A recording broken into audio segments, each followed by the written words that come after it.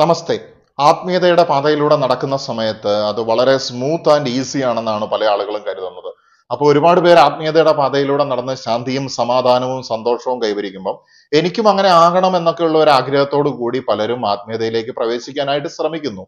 അല്ലെങ്കിൽ മെറ്റാഫിസിക്കലും പാരാസൈക്കോളജിക്കലുമായിട്ടുള്ള അല്ലെങ്കിൽ സ്പിരിച്വൽ ആയിട്ടുള്ള കാര്യങ്ങളെ കുറിച്ചൊക്കെ അറിയാൻ ആളുകൾക്ക് വളരെ ക്യൂരിയോസിറ്റി ആണ്.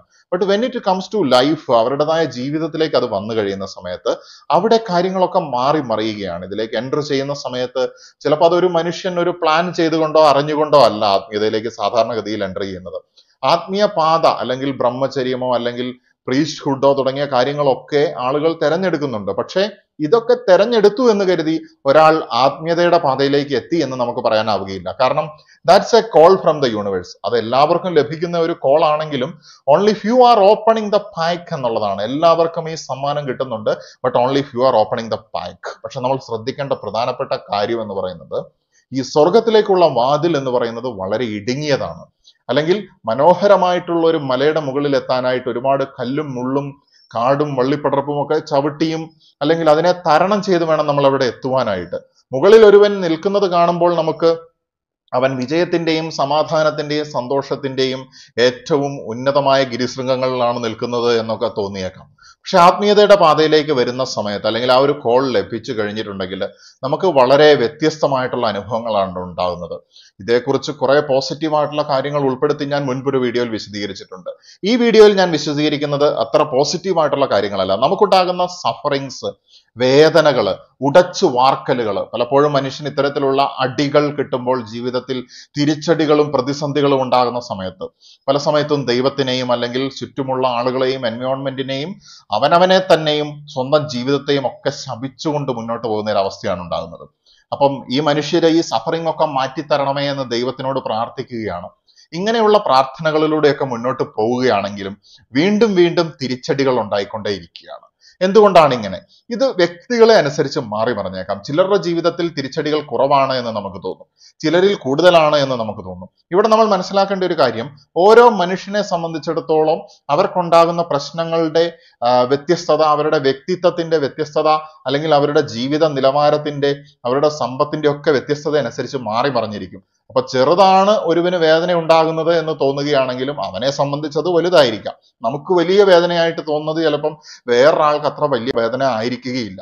അവർക്കത് ചെറിയൊരു അനുഭവമായിട്ടായിരിക്കും തോന്നുക. എന്ത് തന്നെ ആയാലും നമുക്ക് ദുരനുഭവങ്ങൾ ബാഡ് എക്സ്പീരിയൻസസ് ഹൈലി ഡിസ്റ്റർബിംഗ് ആയിട്ടുള്ള ഫീലിങ്സും ഇമോഷൻസും ജീവിത അനുഭവങ്ങളും ഒക്കെ വന്നു ചേരുന്ന സമയങ്ങളിൽ നമ്മൾ ഇതൊക്കെ നമ്മളെ തകർക്കുകയാണ് ആ തകർന്ന അവസ്ഥയിൽ തന്നെ മനുഷ്യൻ കിടക്കുകയാണ് എന്നുണ്ടെങ്കിൽ അല്ലെങ്കിൽ അതിനൊരു സ്പിരിച്വൽ പെർസ്പെക്റ്റീവിൽ ഈ തകർച്ചയ്ക്ക് ശേഷം ഈ ഉടയ്ക്കലിന് ശേഷം ഒരു വാർക്കലുണ്ട് എന്ന് മനസ്സിലാക്കുന്നില്ല എങ്കിൽ ജീവിതത്തിന്റെ അവസാന ശ്വാസം വരെ ഒരു മനുഷ്യന് സഫറിങ് മാത്രമായിരിക്കും ഉണ്ടാകുക. വിശുദ്ധരായിട്ടുള്ള ഒരുപാട് ആളുകളുണ്ട് ഏത് മതങ്ങൾ നോക്കിയാലും. അതിൽ പലരെയും നമുക്ക് വീക്ഷിക്കുമ്പോൾ മനസ്സിലാവും. ഒരുപാട് രോഗങ്ങൾ കൊണ്ടും പ്രതിസന്ധികൾ കൊണ്ടും ഒക്കെ ജീവിതം മുഴുവൻ ബുദ്ധിമുട്ടിയിട്ടും അവർ ദൈവത്തിനോടുള്ള ആ ഒരു സ്നേഹം അത് കൈവിടാതെ തന്നെ അവർക്ക് അതിന്റെ ഉള്ളിൽ അവർക്ക് സമാധാനവും സന്തോഷവും കണ്ടെത്താനായിട്ട് സാധിക്കുന്നു എന്നുള്ളതാണ്. ആ സമയത്തും അവർ ഈശ്വരനെ പ്രകീർത്തിക്കുകയോ അല്ലെങ്കിൽ ആ ഒരു ഈശ്വര അനുഭവമായിട്ട് ഇഴുകിച്ചേർന്നുകൊണ്ട് മുന്നോട്ട് പോവുകയോ ചെയ്യുകയാണ്. ഇവിടെയാണ് സാധാരണ ആളുകളും ആത്മീയതയുടെ വിളി തിരിച്ചറിഞ്ഞ ആളുകളും തമ്മിലുള്ള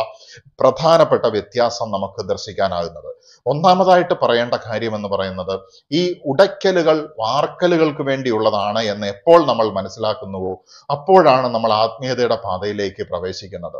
എല്ലാ കാര്യങ്ങൾക്കും ഒരു ബിഗ്ഗർ പ്ലാൻ ഉണ്ട്. ആ ഒരു ബിഗ്ഗർ പ്ലാൻ അൺഫോൾഡ് ചെയ്ത് വരികയാണ് എന്നുള്ളത് നമ്മൾ മനസ്സിലാക്കേണ്ടിയിരിക്കുന്നു. Things are not falling apart they are falling into places അതായത് ഒരു ഉദാഹരണത്തിന് പറഞ്ഞു കഴിഞ്ഞാൽ ഒരു ഇലയാണെങ്കിൽ പോലും അത് ഒരു മരത്തിൽ നിന്ന് പല മേഖലകളിലേക്ക് പറന്നു പോവുകയാണ്.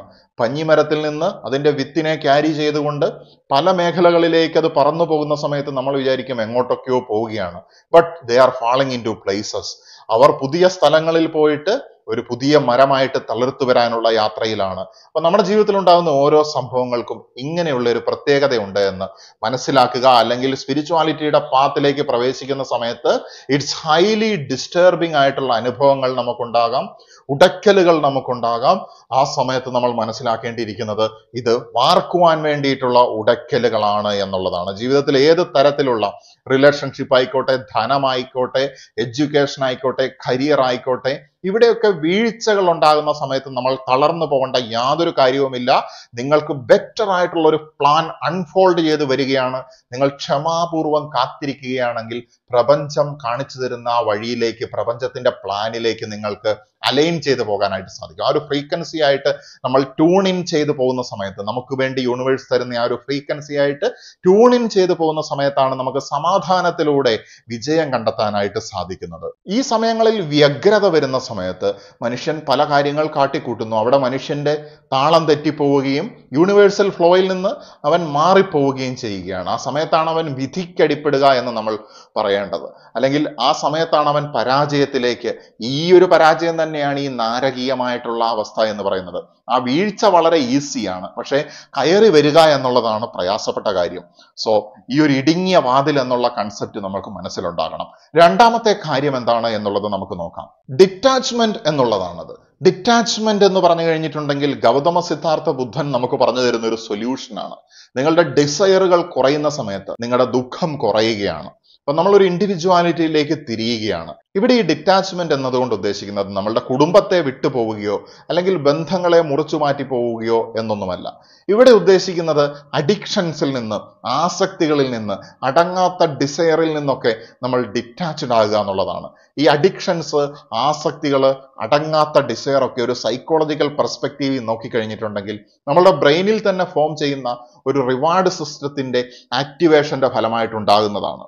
അപ്പൊ ഈ ഒരു സമയത്ത് നമുക്കിത് എൻവയോൺമെന്റിലെ ലേണിങ്ങിൽ നിന്നാണ് ഈ ഒരു റിവാർഡ് സിസ്റ്റം ഉണ്ടാകുന്നത് എന്നുള്ളത് നമുക്ക് മനസ്സിലാക്കാനായിട്ട് സാധിക്കും.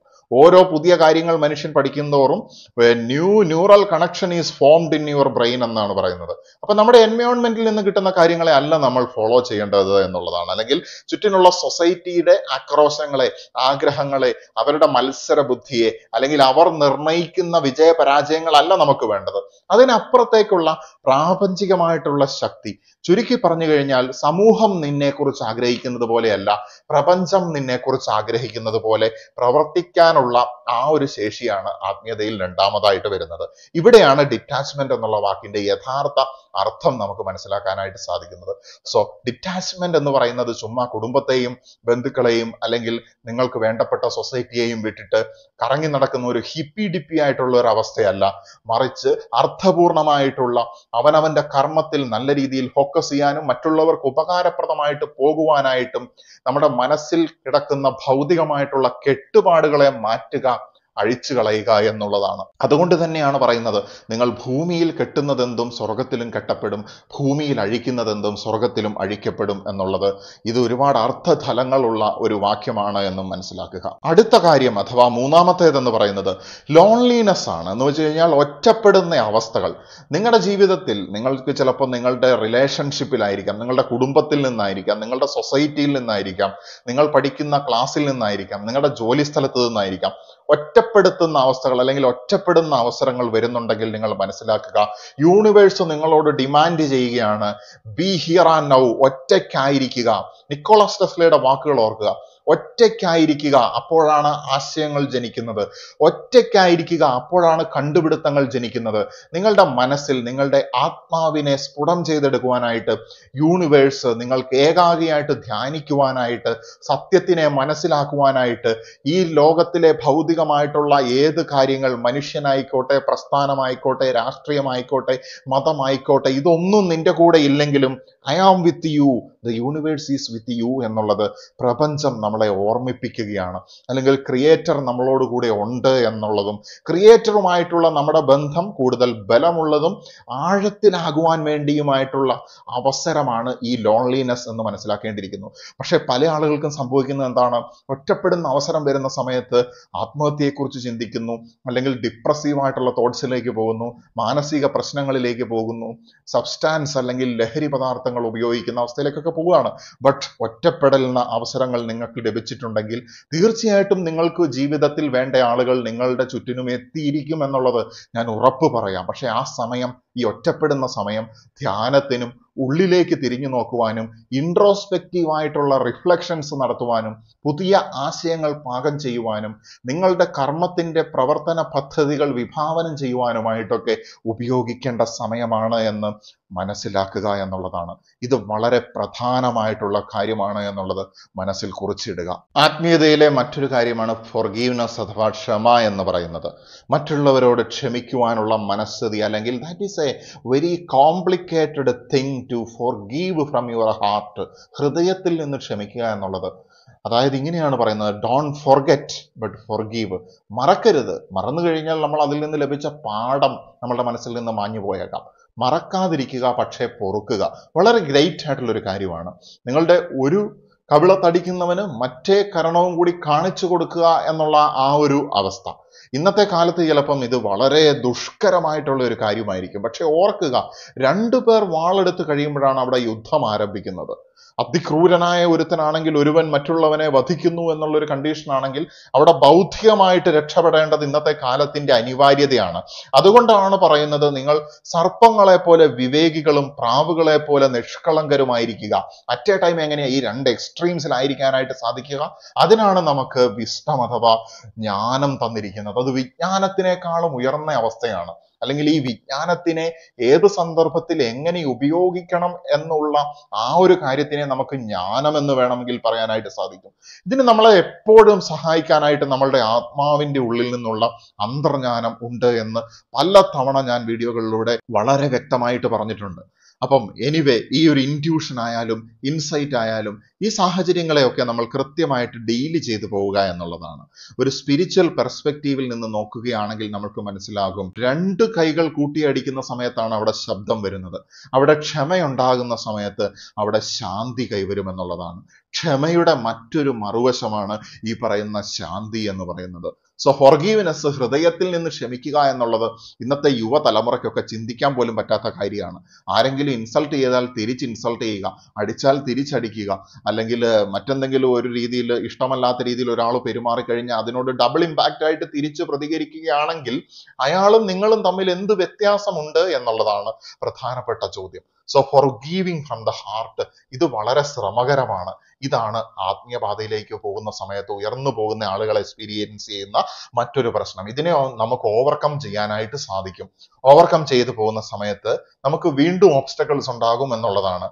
അതെന്താണ് എന്നുള്ളത് നമുക്ക് നോക്കാം. അടുത്ത ആ ഒരു പോയിന്റിലേക്ക് നമുക്ക് നീങ്ങാം. അങ്ങനെ നമ്മൾ വളരെ കഷ്ടപ്പെട്ട് ക്ഷമ പരിശീലിക്കുന്നു അല്ലെങ്കിൽ നമ്മുടെ ഉടച്ചു വാർക്കലുകളെ നമ്മൾ ഫേസ് ചെയ്ത് അതിനെ നമ്മൾ തരണം ചെയ്ത് ബെറ്റർ ആയിട്ടുള്ള അവസ്ഥയിലേക്ക് വരുന്നു. നമ്മളുടെ പ്രശ്നങ്ങളെയൊക്കെ നമ്മളിങ്ങനെ ഓവർകം ചെയ്ത് പോകുന്ന സമയത്ത് നമ്മൾ വിചാരിക്കും ഒരു താൽക്കാലിക ശാന്തത കൈവരുന്ന സമയത്ത് നമ്മൾ വിചാരിക്കും പേമാരിക്ക് ശേഷമുള്ള ഒരു ശാന്തതയാണല്ലോ എന്നുള്ളത്. പക്ഷേ മനസ്സിലാക്കുക ഇത് പേമാരിക്ക് ശേഷമുള്ള ശാന്തതയല്ല. പേമാരി വരുന്നതിന് മുമ്പ് കൂടിയുള്ള ശാന്തതയാണ്. കഴിഞ്ഞതിനേക്കാൾ വളരെ വലുതായിട്ടുള്ള പ്രശ്നങ്ങൾ ജീവിതത്തിൽ വീണ്ടും വരുവാനുള്ള സാധ്യതയുണ്ട് എന്നുള്ളതാണ്. ഏത് സമയത്താണോ നമ്മൾ എല്ലാം പഠിച്ചു തീർന്നു എന്ന് വിചാരിക്കുന്നത് ആ സമയത്ത് ആത്മീയ പാതയിലൂടെ നടക്കുന്ന സമയത്ത് വീണ്ടും വീണ്ടും ലെസൺസ് നമുക്ക് കിട്ടിക്കൊണ്ടിരിക്കുകയാണ്. അപ്പൊ വൺസ് ഈ ലെസൺസിനെ ഒക്കെ ഇൻഡിഫറന്റ് ആയിട്ട് ഡീൽ ചെയ്യാനായിട്ട് പറ്റുന്ന സ്റ്റേജിലേക്ക് നമ്മൾ എത്തുന്നോടം വരെ ഈ പ്രശ്നങ്ങളെ പ്രശ്നങ്ങൾ എന്ന് തന്നെ നമ്മൾ വിളിക്കും. പക്ഷേ പിന്നീട് ഒരു അവസരത്തിലേക്ക് എത്തിക്കഴിഞ്ഞാൽ ഈ പ്രശ്നം ഒരു പ്രശ്നമേ ആവുകയില്ല എന്നുള്ളതാണ്. നിങ്ങൾ ഈ ആത്മീയപാതയിൽ മുന്നോട്ട് പോകുന്ന ആളാണെങ്കിൽ മനസ്സിലാകും. പണ്ട് നിങ്ങൾക്ക് വലിയ പ്രശ്നമായിരുന്ന കാര്യങ്ങളൊക്കെ ഇപ്പൊ അത്ര വലിയ പ്രശ്നമല്ല. അപ്പൊ ഇവിടെ ഞാൻ ഒരു കർഷകന്റെ കഥ എന്റെ മനസ്സിലേക്ക് വരികയാണ്. വളരെ ചുരുക്കി ഞാനത് പറയാനായിട്ട് ആഗ്രഹിക്കുകയാണ്. തീർച്ചയായിട്ടും നിങ്ങൾക്കത് വളരെയധികം ഇഷ്ടപ്പെടുകയും നിങ്ങളുടെ ഹൃദയത്തിൽ ആഴത്തിൽ പതിയുകയും ചെയ്യും. ഒരു കർഷകൻ ഉണ്ടായിരുന്നു അദ്ദേഹത്തിന് ചെറിയൊരു കുടുംബം രണ്ട് മക്കളൊക്കെ ഉണ്ടായിരുന്നു. അങ്ങനെ ഇരിക്കുന്ന ഒരു അവസരത്തിൽ ഈ കർഷകന്റെ കുതിര ആ നാട്ടിൽ കുതിര അന്ന് കൃഷിക്ക് വളരെ അനിവാര്യമായിട്ടുള്ള ഒരു ജീവിയായിരുന്നു. ഒരുപാട് സഹായങ്ങളൊക്കെ ആ കുതിരയെ കൊണ്ട് അവർക്കുണ്ടായിരുന്നു. അതില്ലാതെ ഒരു കർഷകന് മുന്നോട്ട് പോകാൻ പറ്റില്ല എന്നുള്ള ഒരു സാഹചര്യമായിരുന്നു. സോ ഈ കുതിര ഒരു ദിവസം ഓടിപ്പോവുകയാണ് കാട്ടിലേക്ക്. അപ്പൊ ആളുകളൊക്കെ ഈ കർഷകനോട് വന്നു പറഞ്ഞു ഓ കഷ്ടമായി പോയി. നിങ്ങളുടെ കുതിര കാട്ടിലേക്ക് പോയല്ലോ. ദയനീയമായി പോയി എന്നുള്ള കാര്യം പറയുകയാണ്. അപ്പൊ ഈ കർഷകൻ പറയുകയാണ് മേ ബി ആയിരിക്കാം. ദയനീയമായിട്ടുള്ള കാര്യമായിരിക്കാം. അങ്ങനെ രണ്ട് മൂന്ന് ദിവസം കഴിഞ്ഞപ്പോഴുണ്ട് ഈ കുതിര അതാ ഒരു കാട്ടുകുതിരയെയും കൂടെ കൂട്ടിക്കൊണ്ട് തിരിച്ചു വന്നേക്കാണ്. നല്ല ആരോഗ്യമുള്ള മറ്റൊരു പെൺകുതിരയും കൂടെ കൂട്ടിക്കൊണ്ട് തിരിച്ചു വന്നിരിക്കുകയാണ്. അപ്പൊ ആളുകൾ പറഞ്ഞു ആഹാ നിങ്ങൾക്ക് ലോട്ടറി അടിച്ചല്ലോ. ഒരു കുതിര കുറച്ച് ദിവസത്തിന് പോയാലും ഇതാ അടുത്തൊരു കുതിരേനയുമായിട്ട് വന്നിരിക്കുന്നു. അപ്പൊ കർഷകൻ പറയുകയാണ് ആയിരിക്കാം. ലോട്ടറി ആയിരിക്കാം. അദ്ദേഹത്തിന് ഒരു ഇൻഡിഫറൻസ് അവിടെ കാണുന്നത്. പിന്നെ കുറച്ച് ദിവസവും കൂടെ കഴിഞ്ഞപ്പോൾ എന്ത് ചെയ്തു? ഈ കുതിരയെ പതുക്കെ മെരുക്കിയെടുക്കാനായിട്ട് ഈ കർഷകന്റെ മകൻ ശ്രമിക്കുകയാണ്. അതിന്റെ പുറത്ത് കയറി അവസാനം അവൻ ഉരുണ്ടു വീണ് അവന്റെ കൈ ഒടിയുകയുണ്ടായി. അപ്പൊ അവൻ കൈയൊക്കെ ഒടിഞ്ഞ് കെട്ടിയിരിക്കുന്ന സമയത്ത് അയലോക്കക്കാരൊക്കെ പറഞ്ഞു അയ്യോ കഷ്ടമായി പോയല്ലോ എന്നുള്ളത്. അപ്പൊ ആ കർഷകൻ പറയുകയാണ് ആയിരിക്കാം. അപ്പൊ ആളുകൾ ചിന്തിച്ച് എന്തുകൊണ്ടാണ് ഇയാൾ എന്ത് പറഞ്ഞാലും ആയിരിക്കാം ആയിരിക്കാം എന്ന് പറയുന്നത്. അപ്പൊ ആ സമയത്താണ് ആ നാട്ടിൽ പട്ടാളത്തിൽ നിർബന്ധമായിട്ട് ചേരണം ഒരു യുദ്ധം വരുന്ന ഒരു അവസ്ഥ ഉണ്ടാകുന്നത്. അങ്ങനെ രാജാവ് ഭടന്മാരെ കൂടുതൽ പട്ടാളത്തിലേക്ക് യുവാക്കളെ റിക്രൂട്ട് ചെയ്യാനായിട്ട് ഈ ഗ്രാമങ്ങളിലേക്ക് അയക്കുകയാണ്. അപ്പൊ ഇവർ വന്ന സമയത്ത് നോക്കുമ്പോൾ ഈ യുവാവ് കൈയൊക്കെ ഒടിഞ്ഞിരിക്കുന്നത് കൊണ്ട് ഇവനെ ഒഴിവാക്കി. ബാക്കിയുള്ള യുവാക്കളെയൊക്കെ കൂട്ടിക്കൊണ്ട് പോവുകയും ചെയ്തു. അപ്പൊ ആളുകൾ പറഞ്ഞു ഓ ഭാഗ്യവാനായിരിക്കുന്നു. നിങ്ങളുടെ മകനെ നിങ്ങൾക്ക് വിട്ടുകൊടുക്കേണ്ട വന്നില്ലല്ലോ യുദ്ധമുഖത്തേക്ക്. ഞങ്ങളൊക്കെ വളരെ കഷ്ടതയിലാണ്. അപ്പോഴും ഈ കർഷകൻ ആയിരിക്കാം എന്ന് പറയുകയാണ്. സോ ഇൻഡിഫറൻസ് മിഡിൽ പാത്ത് പാത്താണ് നമുക്കിവിടെ കാണാൻ പറ്റുന്നത്. ഇതൊരു ബുദ്ധിസ്റ്റ് അല്ലെങ്കിൽ സെൻ പെർസ്പെക്റ്റീവ് എന്നുള്ള ഒരു സ്റ്റോറിയാണ് അപ്പൊ ഇവിടെ നോക്കുക നിങ്ങൾ. ഈ കർഷകൻ വളരെ വലിയ സന്തോഷകരമായ കാര്യങ്ങൾ വരുമ്പോഴും അമിതമായിട്ട് സന്തോഷിക്കുന്നില്ല. ദുഃഖകരമായ കാര്യങ്ങൾ വരുമ്പോൾ അമിതമായിട്ട് ദുഃഖിക്കുന്നുമില്ല. ഈ ഒരു സ്റ്റേജിലേക്ക് നമ്മൾ എപ്പോൾ എത്തുന്നു? അപ്പോൾ നമ്മുടെ ചുറ്റിനുണ്ടാകുന്ന പ്രശ്നങ്ങൾ നമുക്കൊരു പ്രശ്നമല്ലാത്ത അവസ്ഥയിലേക്ക് വരും. അതാണ് ഏറ്റവും വലിയ റെസിലിയൻസ് അതാണ് ഏറ്റവും വലിയ മെന്റൽ ഹെൽത്ത് എന്ന് പറയുന്നത്. അപ്പൊ നമുക്ക് സ്ട്രെസ് ഒക്കെ വളരെയധികം കുറയും. സ്ട്രെസ് കുറയുന്ന സമയത്ത് നമ്മുടെ ഇമ്മ്യൂൺ സിസ്റ്റം പവർഫുൾ ആവും. സ്ട്രെസ് കൂടുമ്പോൾ നമ്മുടെ പ്രതിരോധ സംവിധാനത്തിന്റെ ശക്തി കുറയുകയും നമ്മളിലേക്ക് രോഗങ്ങൾ ഓടിയെടുക്കുകയും ചെയ്യുമെന്നുള്ളതൊക്കെ ശാസ്ത്രീയമായിട്ട് തെളിയിച്ചിട്ടുള്ള കാര്യങ്ങളാണ്. സോ ഇത് നമുക്ക് കൂടുതൽ പോസിറ്റീവായിട്ട് നമ്മളുടെ ജീവിതത്തിൽ മുന്നോട്ട് പോകാനായിട്ട് നമ്മളെ സഹായിക്കും എന്നുള്ളതാണ്. അത് ചെറിയ കാര്യങ്ങൾ ചെയ്യാൻ വേണ്ടിയിട്ടല്ല. നമ്മൾ ജനിച്ചിരിക്കുന്ന നമ്മൾ ചെയ്യാനായിട്ട് ജനിച്ചിരിക്കുന്ന വലിയ കാര്യങ്ങൾ ചെയ്യാൻ വേണ്ടിയിട്ടാണ് എന്നും കൂടി മനസ്സിലാക്കുക. എല്ലാം അവസാനിച്ചു എന്ന് നമ്മൾ കരുതുന്ന സമയത്താണ് ഈ സ്പിരിച്വൽ ഗെയിം റീസ്റ്റാർട്ട് ചെയ്യാനായിട്ട് പോവുകയാണ് എന്നുള്ളത് നമ്മൾ അറിയേണ്ടത്. നമുക്കെല്ലാവർക്കും ആഗ്രഹമുണ്ട് എല്ലാ ദിവസവും ധ്യാനിക്കണം. ആ ആഗ്രഹത്തിൽ നമ്മൾ ആഴ്ചയിൽ ഒന്നോ രണ്ടോ ദിവസമൊക്കെ ധ്യാനിക്കും പിന്നെ കാര്യങ്ങളൊക്കെ മാറി മറിഞ്ഞു പോകും. അല്ലെങ്കിൽ യോഗ ചെയ്യണമെന്ന ആഗ്രഹം ഉണ്ടാവും ഒറ്റയ്ക്ക് നടക്കണമെന്നുള്ള ആഗ്രഹം ഉണ്ടാകും. നന്നായിട്ട് ഒരു സ്ഥലത്ത് പോയിരുന്ന് പ്രാർത്ഥിക്കണം എന്നുള്ള ആഗ്രഹം ഉണ്ടാകും ആളുകൾ പലരും പല സമയത്തും എന്നോട് ചോദിച്ചിട്ടുണ്ട് ഏത് തരത്തിലുള്ള മെഡിറ്റേഷൻ ആണ് താങ്കൾ ഫോളോ ചെയ്യുന്നത്? അല്ലെങ്കിൽ പ്രാർത്ഥന കൊണ്ട് എന്താണ് ഉദ്ദേശിക്കുന്നത്? ഇങ്ങനെ പല കാര്യങ്ങൾ ചോദിക്കാറുണ്ട്. അപ്പോ ഒരുപാട് ആളുകൾ ഞാനും നിങ്ങളും ഒക്കെ അടക്കമുള്ള ആളുകൾ ഇങ്ങനെയുള്ള കാര്യങ്ങൾ നമ്മുടെ ജീവിതത്തിൽ ഒരു ഭാഗമാകണമെന്ന് ആഗ്രഹിക്കുന്നു. പക്ഷേ അത് ഒരു ഒക്കേഷണൽ ആയിട്ട് വല്ലപ്പോഴും ഒക്കെ സംഭവിക്കുകയാണ്. But when you enter into the path of spirituality you will realise or you will recognise that ഈ പ്രയർ എന്ന് പറയുന്നത് മെഡിറ്റേഷൻ എന്ന് പറയുന്നത് ഒറ്റയ്ക്ക് പ്രകൃതിയിലൂടെയുള്ള നടത്തം എന്ന് പറയുന്നത് തുടങ്ങി എല്ലാവിധ സ്പിരിച്വൽ പ്രാക്ടീസസും നിങ്ങൾ രാവിലെ പല്ല് തേക്കുന്നത് പോലെയോ അല്ലെങ്കിൽ ഷേവ് ചെയ്യുന്നത് പോലെയോ കുളിക്കുന്നത് പോലെയോ ഉള്ള ഒരു ഡെയിലി റൊട്ടീനായിട്ട് മാറുമെന്നുള്ളതാണ്. സോ ആത്മീയതയുടെ പാതയിലേക്ക് നടക്കുമ്പോൾ ഇത് ആളുകൾക്ക് ഡിഫറൻസ് ഉണ്ടാകും. ഓക്കെ ചില ആളുകൾക്ക് മെഡിറ്റേഷൻ ചിലപ്പോൾ കുറവായിരിക്കും. അതിന് പകരം പ്രയറിലൂടെയോ അല്ലെങ്കിൽ വാക്കിംഗ് എലോൺ ഇൻ ദ നേച്ചറിലൂടെയോ ആയിരിക്കും കോമ്പൻസെറ്റ് ചെയ്യുന്നത്. ചിലർക്ക് ചിലപ്പം മറ്റ് വ്യക്തികളുമായിട്ടുള്ള ഇന്ററാക്ഷൻ കുറവായിരിക്കും. അവർക്ക് ഇൻഡിവിജ്വൽ ആയിട്ടിരുന്ന് ചിന്തിക്കുന്നതിലൂടെ ആയിരിക്കും അവർക്ക് ബെറ്റർ ആയിട്ടുള്ള അവസ്ഥയിലേക്ക് വരാനായിട്ട് സാധിക്കുന്നത്. അപ്പൊ അത് ഓരോ മനുഷ്യനെ ആശ്രയിച്ച് മാറിയിരിക്കുന്നു എന്നിരുന്നാലും സ്പിരിച്വൽ പ്രാക്ടീസസ് എന്ന് പറയുന്നത് അല്ലെങ്കിൽ ഈ ഒരാളുടെ കർമ്മത്തിനെ പോലും ഞാൻ സ്പിരിച്വൽ പ്രാക്ടീസ് എന്നാണ് പറയാനായിട്ട് ഉദ്ദേശിക്കുന്നത്. ഈ കർമ്മം എന്ന് പറയുന്നത് will be a daily routine or a daily habit എന്നുള്ള രീതിയിൽ മുന്നോട്ട് പോകും എന്നുള്ളതാണ്. അമേസിംഗ് ആയിട്ടുള്ള റിസൾട്ട്സ് ആയിരിക്കും ഇത് നമുക്ക് നൽകാനായിട്ടും പോകുന്നത്. അവസാനമായിട്ട് പറയാൻ ആഗ്രഹിക്കുന്ന ഒരു കാര്യം എന്നത് ആത്മീയതയുടെ ഉന്നതങ്ങളിലേക്ക് പോകുന്ന സമയത്ത് നമുക്ക് മനസ്സിലാകും. ഗിവിങ് എന്ന് പറയുന്നത് മറ്റുള്ളവർക്ക് കൊടുക്കുക എന്ന് പറയുന്നത്. നമ്മൾക്ക് മാസം ലഭിക്കുന്ന ഒരു ശമ്പളം എന്ന് പറയുന്നത് അമ്പതിനായിരം രൂപയാണെങ്കിൽ അതിലൊരു ഇരുപതിനായിരം രൂപ നമ്മൾ മറ്റൊരാൾക്ക് കൊടുക്കുക എന്ന് പറയുന്ന സമയത്ത് നമുക്കൊരു ബുദ്ധിമുട്ടുണ്ടായിരിക്കും. പക്ഷേ അർഹതപ്പെട്ട ആളുകൾ നിങ്ങളുടെ മുന്നിലേക്ക് എത്തുന്ന സമയത്ത് നിങ്ങളുടെ അന്തർജ്ഞാനം നിങ്ങൾക്കത് പറഞ്ഞു തരികയും നിങ്ങൾക്കത് ഈസി ആയിട്ട് കൊടുക്കാനായിട്ട് പറ്റുന്ന ഒരു അവസ്ഥയും വരുന്ന സമയത്ത് ആത്മീയതയിൽ നമ്മൾ വീണ്ടും വളർന്നു എന്ന് മനസ്സിലാക്കാനായിട്ട് സാധിക്കും. അവനവനുള്ളത് എല്ലാം കൊടുക്കുക എന്നുള്ളതല്ല. നമുക്ക് ആത്മീയമായിട്ടും ഭൗതികമായിട്ടുമുള്ള വളർച്ച ആവശ്യമാണ്. നമ്മൾ സ്വന്തം കാലിൽ നിന്ന് കഴിഞ്ഞാൽ മാത്രമേ നമുക്ക് മറ്റൊരുവനിലേക്ക് കൈ നീട്ടി കൊടുക്കാനായിട്ട് സാധിക്കുകയുള്ളൂ. അപ്പൊ ഇവിടെ നമ്മൾ മനസ്സിലാക്കേണ്ട ഒരു കാര്യം എന്ന് പറയുന്നത് ഗിവിംഗ് അല്ലെങ്കിൽ ഷെയറിംഗ് എന്ന് പറയുന്നത് ഗിവിങ് മറ്റുള്ളവർക്ക് കൊടുക്കുന്നത് നിങ്ങൾക്ക് തന്നെയാണ് കൊടുക്കുന്നത് എന്നുള്ളത് മനസ്സിലാക്കുക. അത് ഡബിൾ ആയിട്ട് നമ്മുടെ മുന്നിലേക്ക് തിരിച്ചു വരിക തന്നെ ചെയ്യും. ഈ പ്രപഞ്ചം നിങ്ങൾക്ക് തരുന്ന എന്ത് കാര്യങ്ങൾക്കും അവസാനം നമ്മൾ ഗിവ് ബാക്ക് എന്നുള്ളത് പ്രധാനമാണ് എന്നുള്ള അർണോൾഡ് ഷ്വാർസനഗറിന്റെ വാക്കുകൾ എനിക്ക് ഈ സമയത്ത് ഓർമ്മ വരികയാണ്. സോ കൊടുക്കുന്നത് നമുക്ക് തന്നെയാണ് എന്ന് മനസ്സിലാക്കേണ്ടിയിരിക്കുന്നു. മറ്റുള്ളവരിലേക്ക് വെളിച്ചം കൊടുത്തുകൊണ്ട് നമുക്ക് നന്മയുടെ വെളിച്ചം ഈ ഒരു വർഗീയതയുടെയും പണഭ്രാന്തിന്റെയും അല്ലെങ്കിൽ വ്യഗ്രതയുടെയും അടിമത്തത്തിന്റെയും മത്സരത്തിന്റെയും ഈ ലോകത്ത് ശാന്തിയോടെയും സമാധാനത്തോടെയും മതത്തിന്റെയും വർഗീയതയുടെയും അപ്പുറത്തേക്ക് പ്രപഞ്ച ശക്തിയെ അല്ലെങ്കിൽ സൃഷ്ടാവിനെ ഏകദൈവത്തിനെ തിരിച്ചറിയുവാനായിട്ട് നമുക്ക് യാതൊരു കെട്ടുപാടുകളോ ലാഭേച്ഛകളോ ഇല്ലാതെ ഒരുമിച്ച് മുന്നോട്ട് പോകാമെന്നും ശാന്തിയും സമാധാനവും അതിലൂടെ നിർവാണത്തിലേക്കും ജ്ഞാനോദയത്തിലേക്കും എത്തിക്കൊണ്ട് എല്ലാവരും ജ്ഞാനോദയത്തിലേക്ക് എത്തുന്ന സമയത്ത് ഭൂമി സ്വർഗമായിട്ട് മാറുകയാണ് എന്നുള്ളത് തിരിച്ചറിഞ്ഞുകൊണ്ടും നമുക്ക് ആത്മീയപാതയിൽ മുന്നോട്ട് ചരിച്ചുകൊണ്ടേയിരിക്കാം. നമസ്തേ.